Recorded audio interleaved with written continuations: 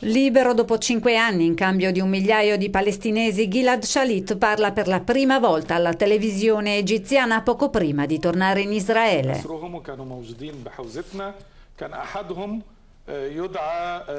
Appare pallido, emozionato, fatica a trovare le parole, ma complessivamente è in buona salute.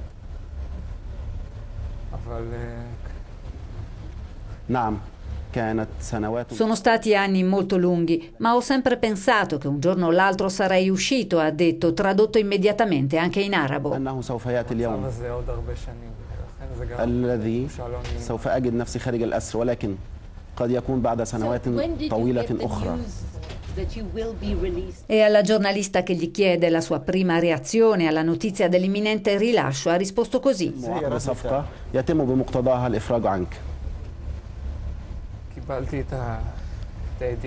L'ho saputo una settimana fa e ho pensato che era la mia ultima opportunità per essere libero, ma ho l'impressione che vivrò momenti molto duri. وأحسست يومها أنها سوف تكون الفرصة الأخيرة لتحريري هيدا مبسوط لمشهد؟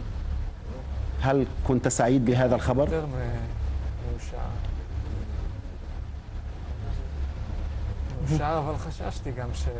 Il caporale, nel frattempo promosso sergente maggiore, si felicita della liberazione dei detenuti palestinesi, ma a condizione, dice, che tornino alle loro famiglie e abbandonino la lotta armata. E lancia un appello per la pace a entrambi i popoli. Spero che questo scambio porterà alla pace tra israeliani e palestinesi e che rinforzi la collaborazione tra le due parti.